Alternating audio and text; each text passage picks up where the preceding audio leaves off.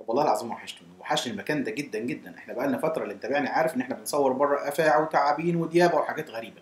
ولكن طالما قعدنا في المكان ده لازم أجيب لك فيديو أروع وأجمل مما تتخيل. اللي متابعني برضو عارف إن أنا في حياتي كلها بخاف من حاجتين العقرب أو العقربة والبرص. بما إني قررت إن أنا أتخطى حاجز الخوف ده فجبت عقارب عندي في البيت وبدأت أعمل تجارب وحاجات غريبة. في الفيديو بتاع النهارده قررت إن أنا أعمل حاجة أغرب وأغرب. قررت إن أنا أمسك العقرب بإيدي. بس ما تحشمش أنا مش همسك العقرب وهو صاحي. أنا عرفت إن العقرب لو دلقت عليه مية ساقعة بيتجمد. فأنا همسك العقرب أو العقربة في الفترة اللي بيتجمد فيها. قد إيه؟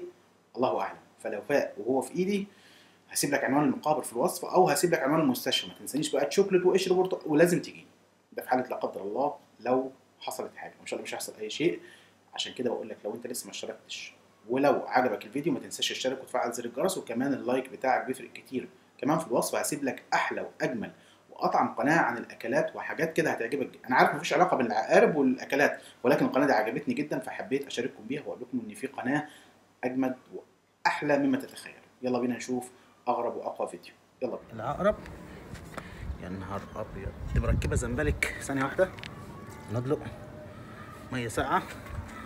وهنا تحس إن حركتها بدأت تضعف. شايفين؟ سبحان الله. سبحان الله.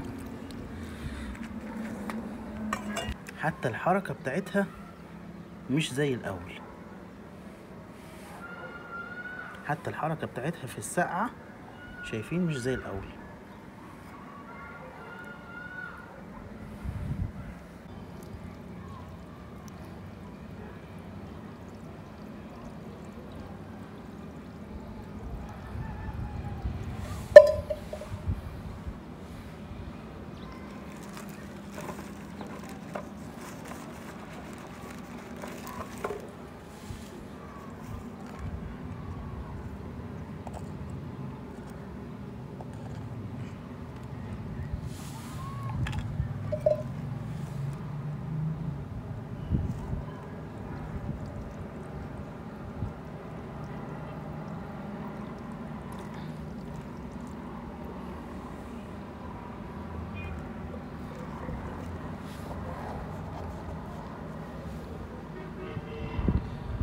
من الواضح إن هي تجمدت تماما. فربنا يستر وتعالوا نلحق بسرعة نمسك العقرب ونشوف اللحظة الغريبة دي. يلا بينا. أهلا بيكم مرة تانية. واهلا بيكم والعقرب متجمد. هتقول لي يا عم ده أنا بفطر باتنين وبتغدى. أقول لك ماليش دعوة. أنا راجل بخاف أو عندي فوبيا من حاجتين العقرب والبرص وأنا بجري بسرعة ألحق قبل ما يفوق. تفتكر أعمل الكلام ده ولا لأ؟ ربنا يستر. هنا العقرب تقريبا تقريبا متجمد. فأنا هعمل حاجة والأول مرة في حياتي أنا بعمل الكلام ده. والأول مرة في حياتي لو العقرب اتحرك هو أنا ليه أنا حاسس إن أنا عقرب بيزغزغ في إيدي؟ معرفش أنا عايز أضحك. عايز أضحك وأبكي في نفس الوقت. برضه ماليش دعوة بيك. أنت قلبك جامد وكنت بتبلع اتنين في الصحراء ولسه اتنين في جيبك هتطلعهم لي؟ ماليش دعوة بالكلام ده. أنا راجل عندي فوبيا من البرص ومن العقرب. فماليش دعوة بشخصيتك أنت. أنا الحاجات دي بالنسبة لي كنت أشوفها بس بقعد يومين جسمي منمل وخايف وقلقان. ولكن في اللحظة دي والاول مرة في حياتي أنا تجرأت. أي نعم العقرب متجمد وممكن يفوق في أي لحظة وأنا حاسس بحاجة بتخربش في إيدي. مش حاجة. آه.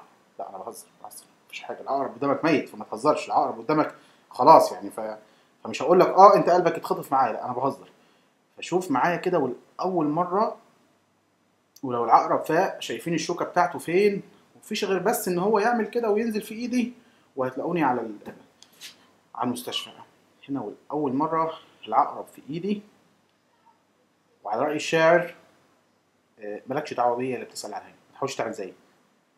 تمام؟ فعشان أنا بعمل حاجات مجنونة علشان أبعد الخوف اللي عندي. حاسس إن العقرب بدأ يفوق. مش عارف ليه. مش عارف ليه أنا حاسس إن العقرب بدأ يفوق وبدأ يتحرك وفعلا في رجل بتتحرك في رجل بتتحرك حاليا. إثبت اهدى. بص إحساس إحساس يعني إحساس مش زي الناس. ما يتوصفش. اللي هو بص آه، للمرة الثالثة للمرة الرابعة للمرة الخامسة أنت قلبك جامد ما بتخافش من الحاجات دي بتفطر باتنين ماليش دعوة بيك. أنا أنا عن نفسي بخاف من العقرب والبرص فعشان كده أنا بالنسبة لي اللحظة دي لحظة تاريخية.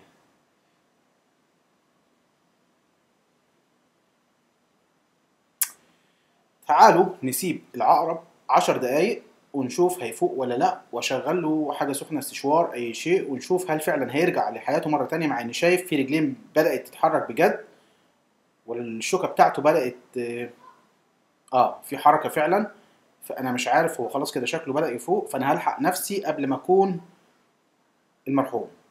تعالوا نشوف العقرب بعد ما يفوق ويلا بينا. وهنا العقرب بعد عشر دقايق بعد ما فاق وحاجة رعب الرعب أشوفكم على خير إن شاء الله في فيديو جديد ولو عجبك الفيديو ما تنساش تشترك وتفعل زر الجرس واللايك بتاعك بيفرق كتير. والسلام عليكم.